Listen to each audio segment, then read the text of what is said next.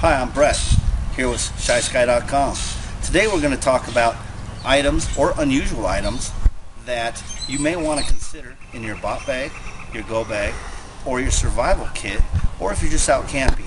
Items that have been very beneficial to myself over the years that I've spent in the bush, and in foreign countries, and in jungles, and in extreme cold weather.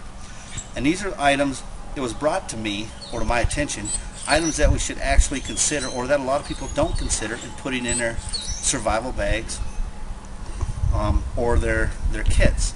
So I'm going to break it down relatively simple for you and let you consider on which items you think would be best. But these are things that I've used over, over time that have been very beneficial to me under extreme conditions. One, oven bags.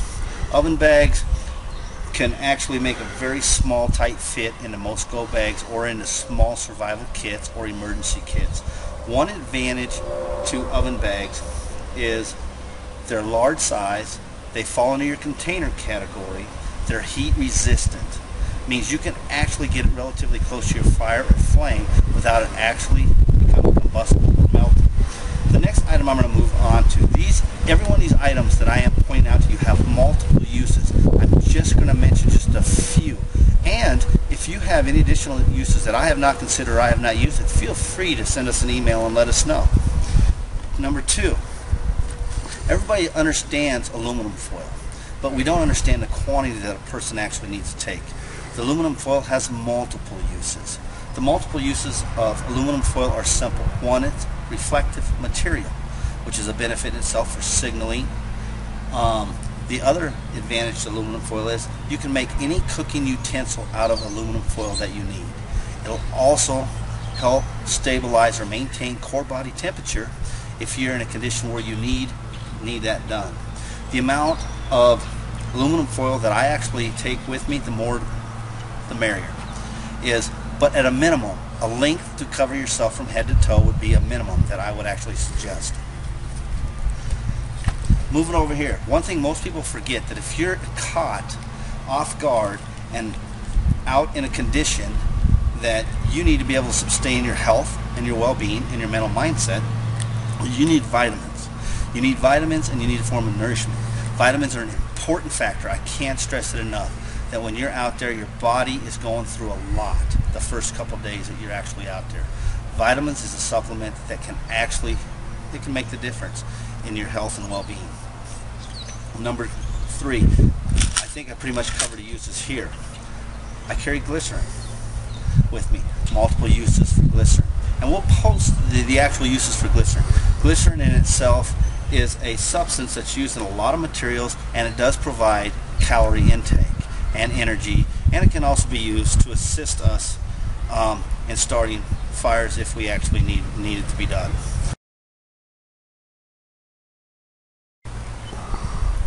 The other item I carry with me is potassium permanganate and this item actually is also uh, outstanding has outstanding benefits not only in the medical aspect but also in the fire starting capabilities and I will bring up an upcoming video um, to show you how I actually do that in the future. I mean, coming up shortly, I'll make sure that you have a very good video on how to use the glycerin and the potassium. Moving along, believe it or not, a very underrated item that a lot of people don't consider. Understand this does not substitute any of your other cutting items that you may have in your bob bag or your go bag or your survival um, kit. It's just a regular pair of fingernail clippers. One, it works for fine material such as 550 cord, it works on fishing line, but it also has a little file. Files are very handy to take burrs off of other cutting utensils, your, anything from your fingernails to fishing hooks. Also, with a good set of fingernail clippers, you also have a potential body opener. Correction, not body opener, but a bottle opener um, and also you have another cutting edge right here. Um, and I make sure that these are actually sharp. So underrated item that has great benefit and is used a lot more than what most people think.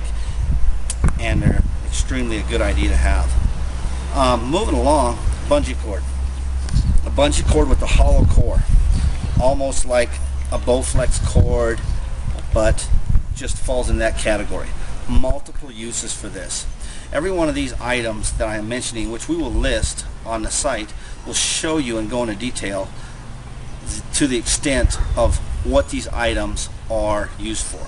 I was asked by my brother, what items do I carry in a go bag?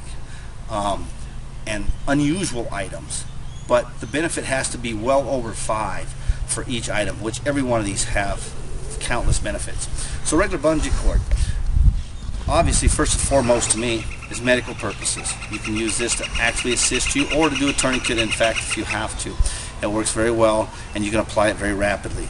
Also, you can cut it. You can make a slingshot type of device. You can use it to secure your, your shelter material. It also acts as a shock absorber if the wind's blowing your, your material. You can use it to secure gear.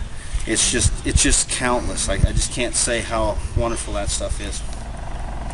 Um, moving along, two other items that are very important or an unusual item in a in a bob bag. Condoms. Condoms are very important. They're small. They're lightweight. They're they're capable. They fall into the container category to myself. You can carry over a liter of water with them. We will have an upcoming video on some uses um, in the field for condoms. Good uses. Every item here has not just been bought off the shelf and brought out here to do a video. This is actual stuff that's actually been used by myself and other individuals that I have worked with in the past. And they have multiple uses. Um, this can also assist you in, in some purification methods with water um, as far as keeping things secure from moisture. I mean, it's just countless. Moving on, we have latex gloves. Always carry several latex gloves.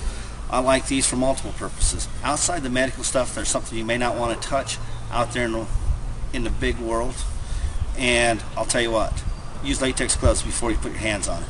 It may be poisonous and you may not know what it is. It might be just identifying a plant and you're not sure if it's poison ivy, poison oak, or something along that lines. You can go ahead and identify it by putting on latex gloves.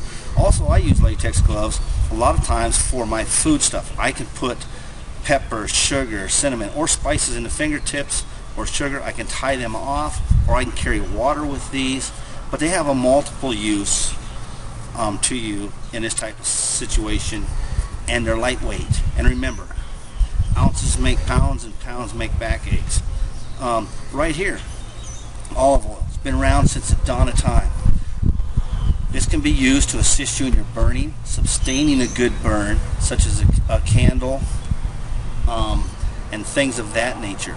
It can also be used as a supplement if you actually need it. And I believe the last thing that I got to show you is zip cord.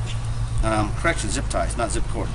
Is zip ties are an outstanding item to carry with you. They can fix many of the problems with the gear that you're going to break when you're out in the field or you're out in the bush or you're just out on a camping exercise. They come in multiple sizes. I only brought these sizes with me just to show you. Regular zip ties. You can secure items, fix items, use them in a hurry, and they work very well. So, there you have it, folks. These are some unusual items you might find in a bob bag, and hopefully this will assist you in being able to understand what it is that you need to put in your go bag or your bob bag.